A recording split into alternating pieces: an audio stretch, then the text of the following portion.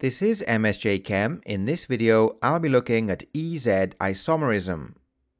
The EZ notation is used when there are up to four different substituents bonded to the two carbon atoms of the carbon-to-carbon -carbon double bond. The molecule on the left has two different substituents bonded to each carbon of the carbon-to-carbon -carbon double bond. Because both substituents are on the same side of the carbon-to-carbon -carbon double bond, we name this cis-but-2-ene. If we look at the molecule on the right, we can see that there are four different substituents bonded to the carbon atoms of the carbon-to-carbon -carbon double bond.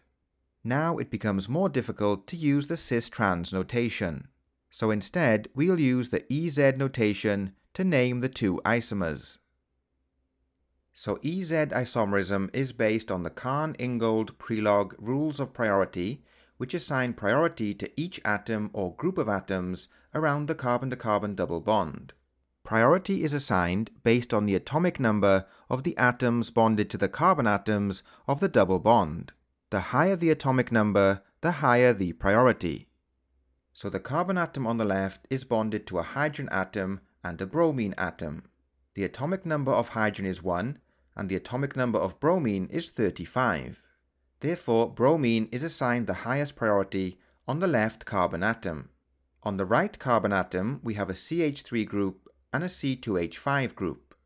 Because this carbon atom is bonded to two other carbon atoms, we need to look at the next atom in the chain.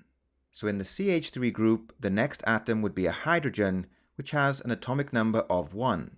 In the C2H5 group, the next atom is a carbon atom, which has an atomic number of 6. Therefore, we assign the highest priority to the C2H5 group.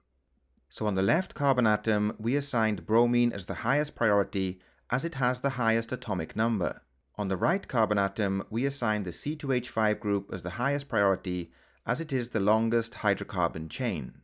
Next we look at how to distinguish between the E and Z isomers.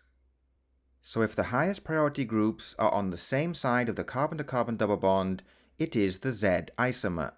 So here we have the molecule that we looked at in the previous slide. Both the highest priority groups, that's the bromine atom and the C2H5 group, are on the same side of the carbon-to-carbon -carbon double bond. Therefore, it is the Z isomer.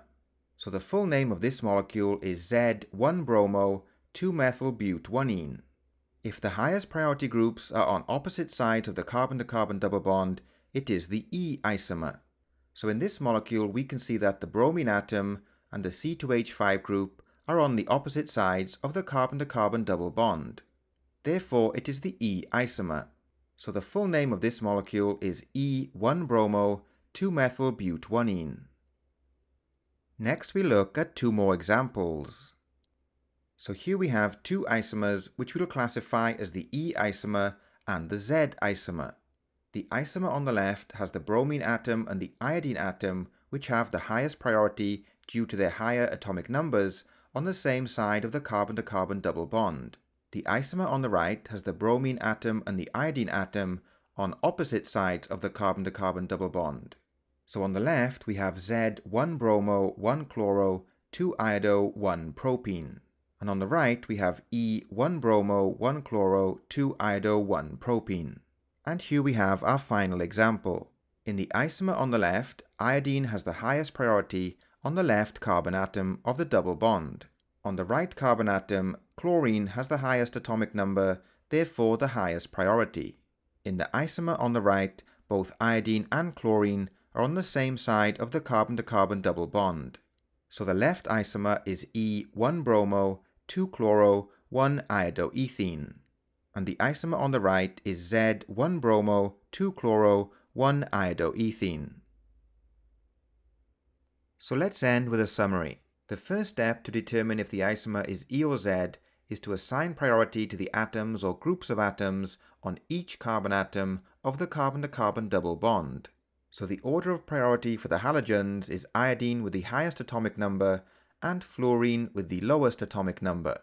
In terms of a hydrocarbon chain, we have C3H7 with highest priority and CH3 with lowest priority. If the highest priority groups are on the same side of the carbon-to-carbon -carbon double bond, it is the Z isomer. And if the highest priority groups are on the opposite sides of the carbon-to-carbon double bond, it is the E isomer.